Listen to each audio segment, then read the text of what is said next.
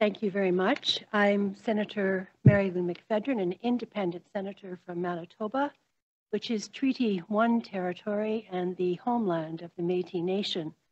I'm speaking to you today as the moderator of this uh, press conference, and I'm in Ottawa, so I am on the unceded, unsurrendered territory of the Algonquin and Anishinaabe peoples on which the Parliament of Canada is situated.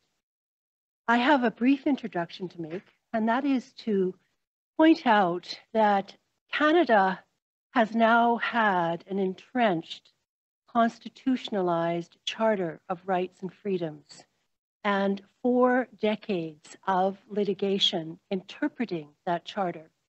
We have seen some triumphs in the 40 years, and we have seen disappointments.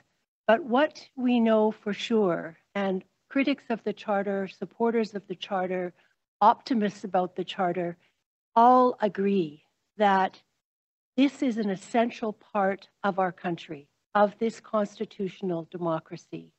And for those who lived through the siege of downtown Ottawa around the Parliament buildings not that long ago, it was very clear that the Charter had become a symbol of a certain kind of freedom and certain freedoms for certain people.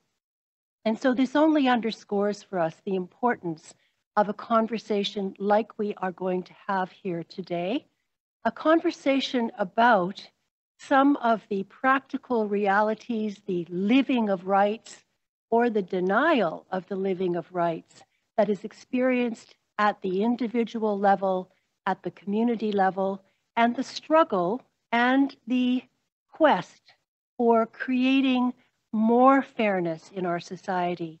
And I want to also point out that this is actually not about some small l liberal or any other label notion of what rights are.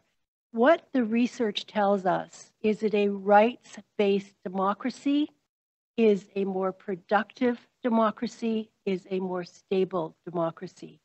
And as we stand with Ukrainian people in this time of an illegal invasion that now we seek increasing documentation of war crimes, it heightens for people in Canada how precious our rights are and how precious our democracy is and how interlinked rights and a viable democracy are.